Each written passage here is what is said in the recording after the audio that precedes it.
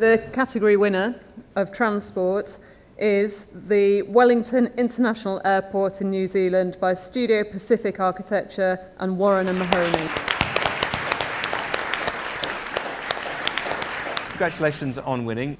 So tell us quickly then uh, about this project. It's an international lounge um, that's grafted onto an existing airport. Um, and I think probably the, one of the defining things on the project would be the client's brief, which was to be to divide opinion um, with the design.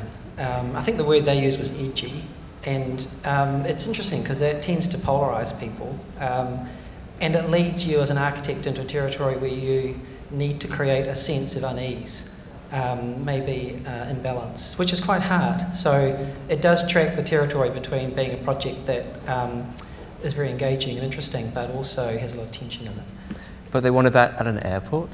It's quite um, unusual. They wanted it at an airport where in Wellington um, the wind is extreme and it's well known for being a very windy city. Uh, and so that was an added um, extra layer of um, trying not actually, to be honest, to put passengers at, you need to put passengers at ease, and yet certain elements of the design had to be extraordinarily challenging at the same time.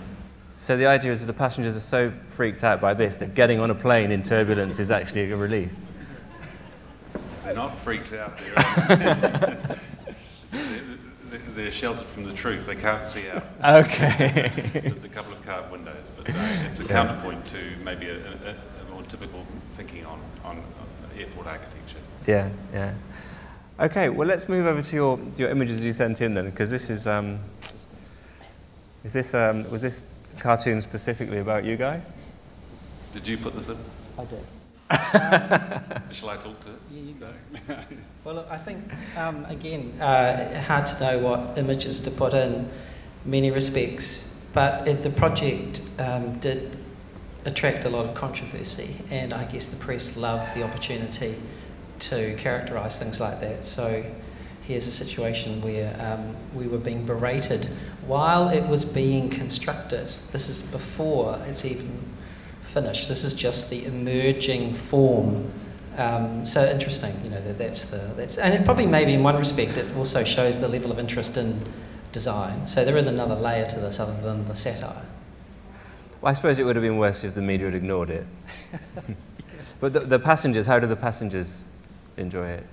Um, well, I think they've, they've often um, interviewed people, and I guess the, the range of responses is, is, is as diverse as you can imagine.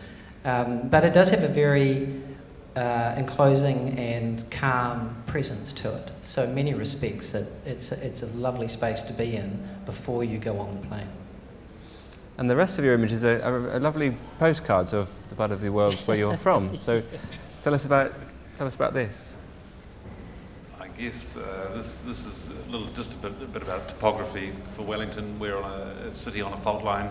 Uh, we suffer um, seismic issues, as you know about Christchurch, or mm. you may have heard. Um, Wellington probably would be a forerunner to Christchurch, but it hasn't happened yet. Uh, so for me, I guess this, this shows uh, Barcelona and the world a little bit more about Wellington. A beautiful harbour, uh, CBD to the front, um, on a very calm day, which is uh, unusual. And um, so tell us about this. This is um, the, the, the, coast. This is, the, um, this is very close to the airport. Um, and I think what it re represents is that a lot of New Zealand architecture is inspired by our landscape. Uh, and I think we are inherently very contextual.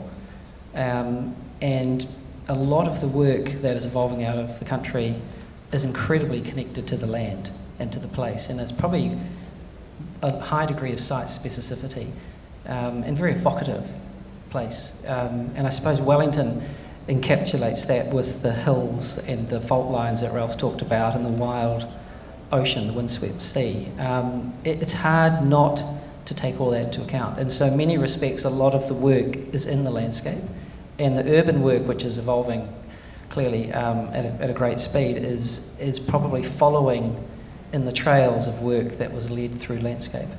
So does that mean there's a sort of emerging sort of New Zealand school of design or even a, a look or an approach?